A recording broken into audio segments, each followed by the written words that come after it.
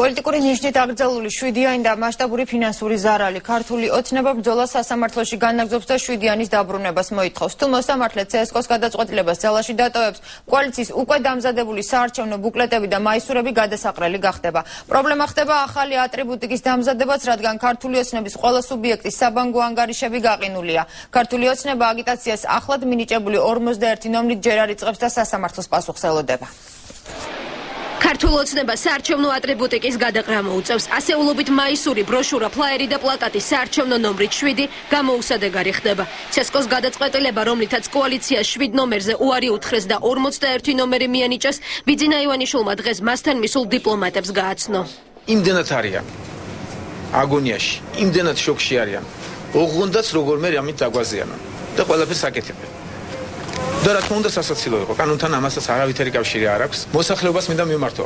არა უშავს ჩვენ ამასაც გადავიტანთ და ჩვენ 41 ნომრითაც მივიღებთ ისეთივე შედეგებს რაც უნდა მიგვიღო ყველაფერი კარგად იქნება. შვიდიანის დაბრუნების მოთხოვნით კოალიცია საქალაქო სასამართლოში ჩივილს აპირებს მანამდე კი ქართული ოცნების წევრები ცესკოს გადაწყვეტილებით მიღებულ ფინანსურ ზარალზე საუბრობენ. ეჭქვეშ დგება ახალი ატრიბუტიკის დამზადებაც. კოალიციაში შემავალი ყველა სუბიექტის ანგარიშს ინკასოადებს გადაწყვეტილებას ვასაჩივრებთ, თუმცა მთავარი ამ შემთხვევაში არის არა ის რა ნომერი გვექნება, არამედ ჩვენება ხელისუფლების სახის როს ყველაფერი. ცესკო კონტროლის პალატა სასამართლო არის ერთი ძალით მართული ნაციონალური მოძრაობის სახე. მაშინ იყო აბსოლუტურად სხვა სიტუაცია. 2010 წლის შემდეგ შეიცვალა ძალიან ბევრი რამ საარჩევნო კანონმდებლობაში, მათ შორის ის, რომ პოლიტიკურ პარტიებს ასევე საარჩევნო ბლოკებს რეგისტრაციაში ატარებს CSKO-ს თავმჯდომარე და არა CSKO. საარჩევნო ტექნოლოგიების სპეციალისტებისთვის ამ დრომდე გაუგებარია, რატომ გამოიყენა CSKO-მ კანონის ახალი ინტერპრეტირება 2012 წელს და რატომ არ მიმართა მას 2010 წლის თვითმმართველობის არჩევნებისას. სად იყო ცენტრალური საარჩევნო კომისია მართალი?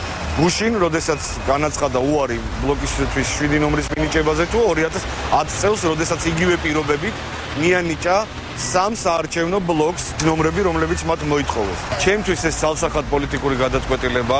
ქართულმა ოცნებამ კოალიციის ერთ-ერთი წევრის კონსერვატორების კუთვნილი 7-იანით აგიტაცია 27 მაისიდან დაიწყო, თუმცა ცესკომ აგიტაციიდან თითქმის 3 თვის მერე და არჩევნებამდე 41 დღით ადრე ოცნება 7-იანი ჩამოართვა და ახალ ნომრად 41 მიანიჭა.